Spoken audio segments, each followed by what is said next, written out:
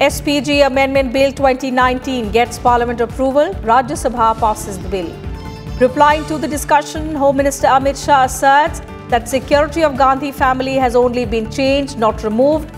Emphasizes government is duty bound to protect all 130 crore Indians. Parliament also passes bill to merge union territories Dadra and Nagar Haveli and Daman and Diu.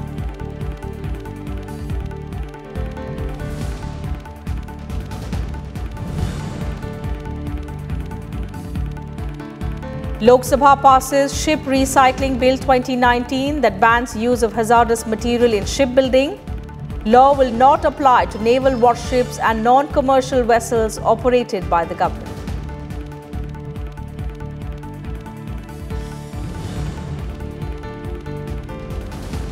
Vice President M. Venkaiah Naidu calls for citizens' participation to make India malnutrition-free by 2022 launches the Poshan Anthem in New Delhi, stresses good quality, affordable maternal health care services for all women.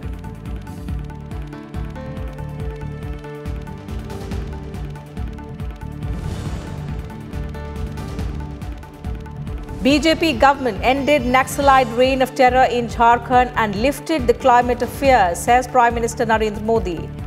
At election rally in Khunti, the Prime Minister also targets opposition parties.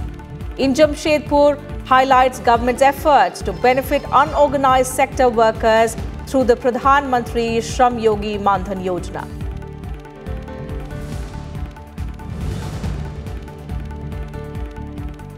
and central government committed to expanding economic reforms in various sectors including banking, mining and insurance, says Finance Minister Nirmala Sitharaman.